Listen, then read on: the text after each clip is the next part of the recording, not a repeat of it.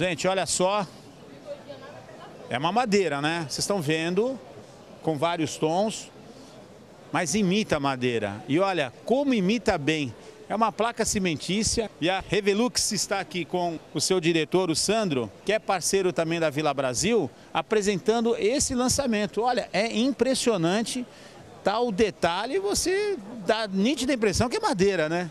Essa era a ideia. O foco principal da Revelux, eu acho que na linha de tendências, é buscar a exatidão dos elementos da natureza no processo cimentício, haja vista até então que o cimento é conhecido como material bruto e estrutural e não de acabamento. E o que é interessante é você imaginar que você faz uma produção, você tem uma linha de produção para poder atender grandes fachadas, enfim, e com essa perfeição, né? Como é que vocês conseguem isso?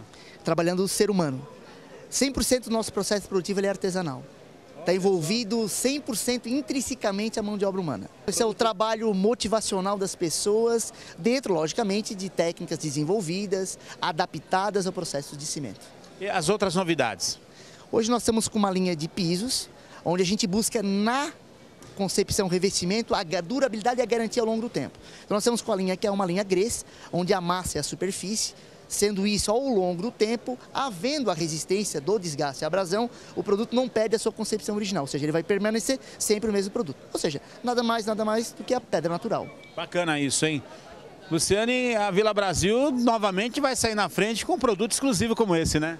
É, a parceria com o Sandro já é desde o início da loja e dá muito certo, né, Sandro? O painel do Fóssil lá faz um sucesso.